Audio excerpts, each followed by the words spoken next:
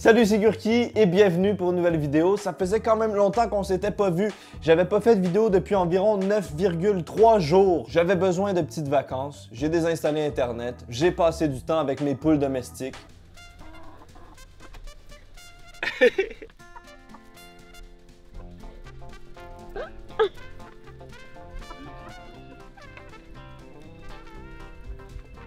C'est pas vraiment mes poules, c'est les poules de mes voisins, mais je les aime tellement que je les ai adoptées et c'est mon enfant. Mesdames et messieurs, aujourd'hui est un grand jour parce que c'est le retour de la fameuse série que j'avais arrêtée depuis trois mois, le retour des pires et les mieux notés. Dans cette série, on en a testé en tabarnak des plats. On a mangé les pires et les meilleurs sushis, des burgers, des poutines, mais on a oublié un plat principal, le bloc fondateur de notre société contemporaine. Le plat le plus connu à l'international, je parle évidemment de la tarte aux tomates fromagères, connue accessoirement sous le nom de pizza. Ma caméra Moon va commander la pire pizza, c'est-à-dire la moins bien notée, et également la meilleure, c'est-à-dire la mieux notée. Petit astérix, on inclut seulement les restaurants qui livrent jusqu'à chez nous, qui sont disponibles sur les plateformes de livraison en ligne, car les restaurants sont fermés. Deuxième astérisque, les, les vallées Javabo.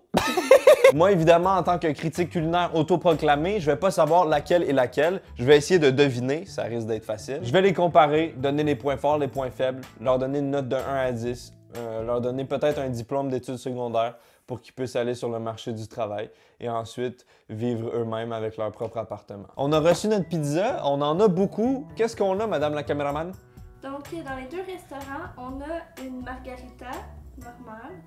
J'aime, j'adore la margarita. Et la deuxième pizza, c'est euh, la spécialité du chef, la spécialité maison. Ok, la pizza signature. Exactement. Mesdames et messieurs, c'est le moment qu'on attendait tous. Reveal des pizzas.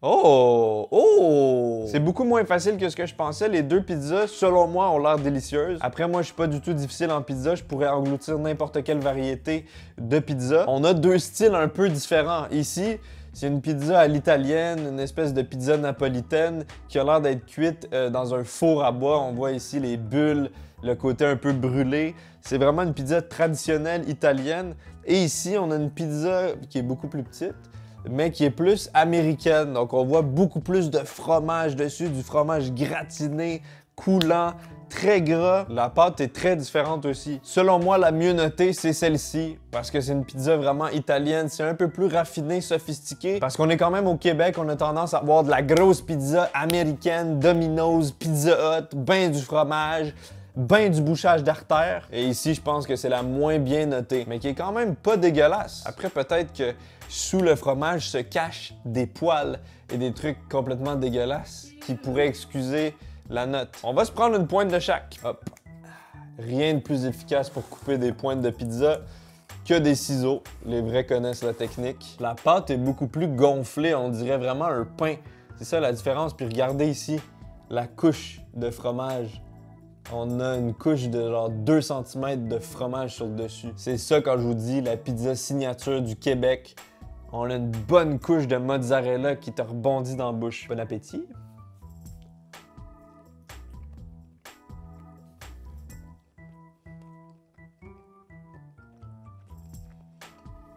Mmh. J'ai extrêmement faim en ce moment, donc c'est très acceptable. Je pense que ça se voit un peu juste en regardant. La pâte est un peu gluante. Elle est très épaisse. On dirait qu'elle est pas assez cuite, puis ça fait en fait, j'ai l'impression que la pizza est pas fraîche. On dirait une pâte qui avait été faite il y a 2-3 jours, puis ils ont mis la sauce et le fromage dessus, ils l'ont recuit.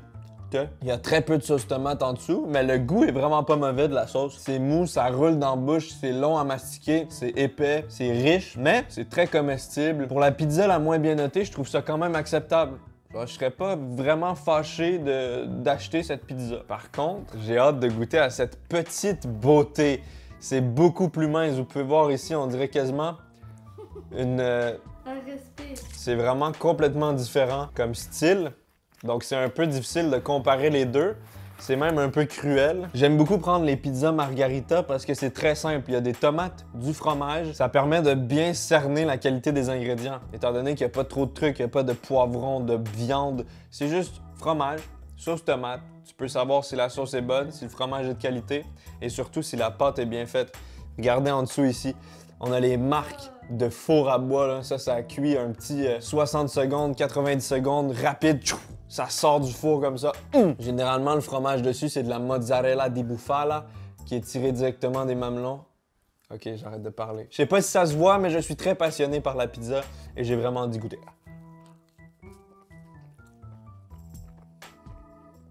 Hum.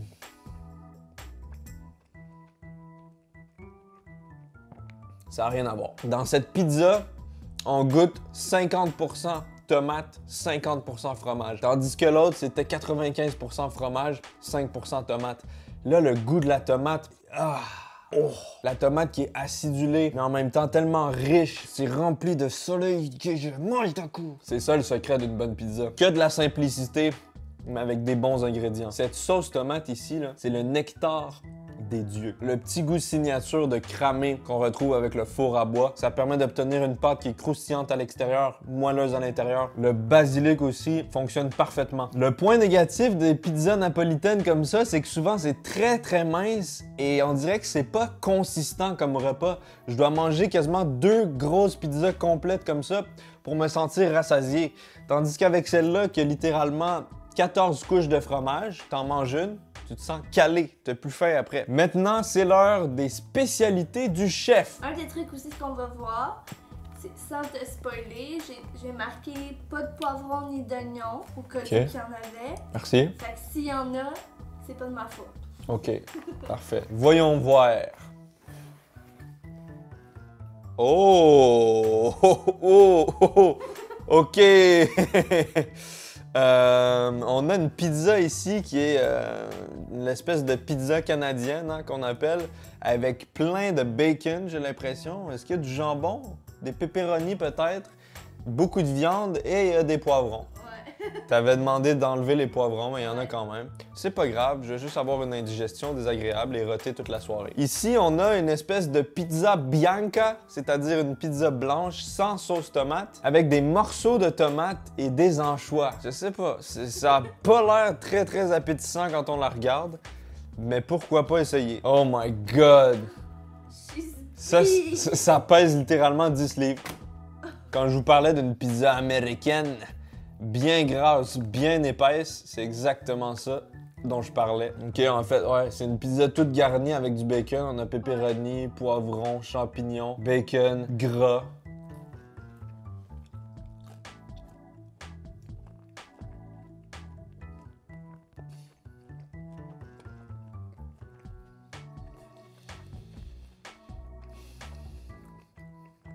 Ah! La pâte est pas cuite. Regarde, c'est la pâte, ça. C'est pas du fromage, c'est littéralement la pâte à pizza qui est encore crute. Elle est fucking crute! Il y a trop de garniture, ça a pas cuit. Mais pour vrai, le bacon, je suis un grand fan de bacon, c'est salé, c'est gras, c'est agréable mais la pâte est catastrophique. La sauce est sucrée. Il y a beaucoup trop de choses qui se passent en même temps. Si la pâte avait été cuite, j'aurais eu aucun problème avec cette pizza. On est habitué de manger des pizzas comme ça ici. Hein? Quand on est un groupe de 15-20 personnes, on se commande des grosses pizzas dans ce style-là. Ça coûte pas cher. C'est pratique, c'est simple. Tu veux goûter? Moi, j'ai même pas envie de prendre une autre bouchée. La pâte vient tout gâcher, là. Ouais. pour vrai, c'est bon. C'est gluant il y a tellement d'ingrédients que ça goûte bon. Tu mets 8 livres de bacon sur euh, une, une toast au caca, ça va quand même être bon. Je vais prendre cette pointe avec un bel anchois. là. Mmh! J'ai de belles bouchées avec de l'anchois, de la tomate ancestrale. Mais ça, c'est floppy un peu, hein? ça tombe dans tous les sens.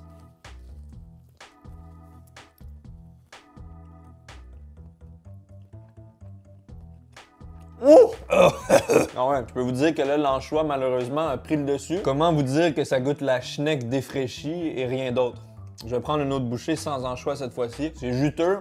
On a des beaux morceaux de tomate, mais je trouve pas ça particulièrement agréable. Je préfère une sauce tomate que des morceaux de tomate comme ça. C'est un peu fade en fait, c'est ça. La pâte est excellente, mais il n'y a pas vraiment de goût. Ce que j'aimais beaucoup de l'autre, c'était la sauce tomate hyper parfumée.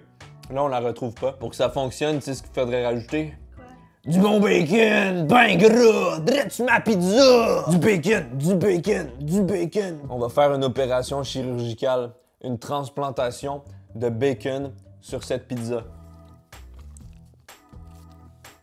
Mmh! Maintenant, c'est bon. Je pense que je vais le dire. Attention, je préfère celle-ci.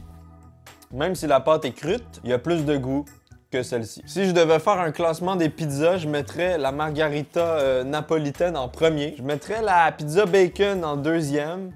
Et celle-ci en troisième et en quatrième, Ah?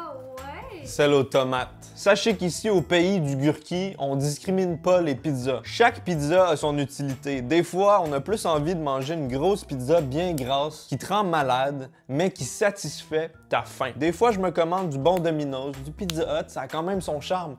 Des fois, on a envie de plus d'opter pour quelque chose de raffiné. On a l'impression de voyager en Italie. Ça fait du bien, c'est goûteux, c'est complexe, mais chaque pizza est agréable. On accepte la diversité pizza ici. Madame la caméraman! Oui. C'est le moment de savoir les réponses. Est-ce que j'avais raison? Est-ce que celle-ci c'est la meilleure, celle-ci c'est la pire? Oui.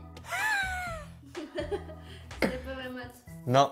C'était pas vraiment difficile, effectivement. Mesdames et messieurs, j'espère que cette vidéo vous a plu. J'espère que vous partagez, vous aussi, l'amour de la pizza. Si vous avez aimé, n'hésitez pas à mettre un pouce bleu, de vous abonner, d'activer la cloche, ça me ferait hyper plaisir. C'était Gurki, je vous aime et je vais manger ça toute la soirée. Pizza party!